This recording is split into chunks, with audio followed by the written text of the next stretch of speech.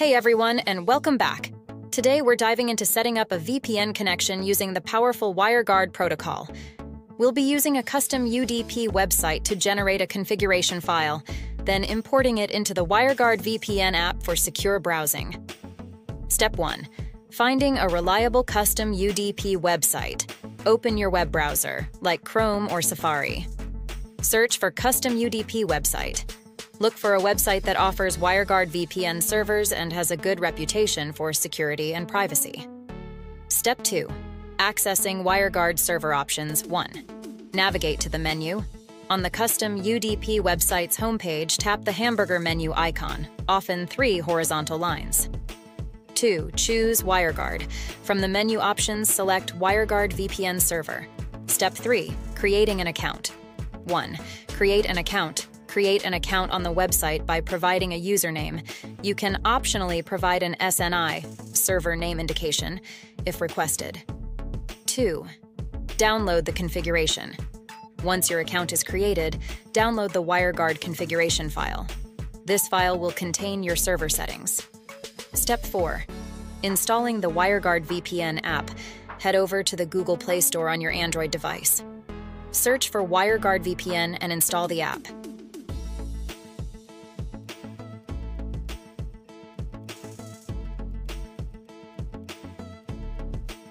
Step 5.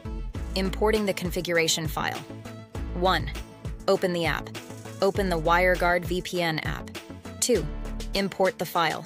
Tap the plus icon, select Import from File, and locate the downloaded WireGuard configuration file.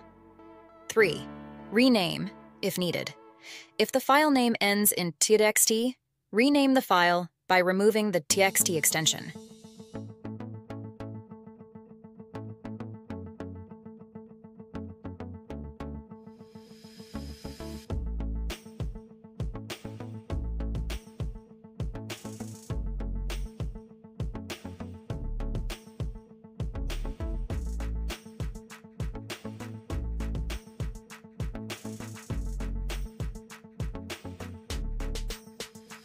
4.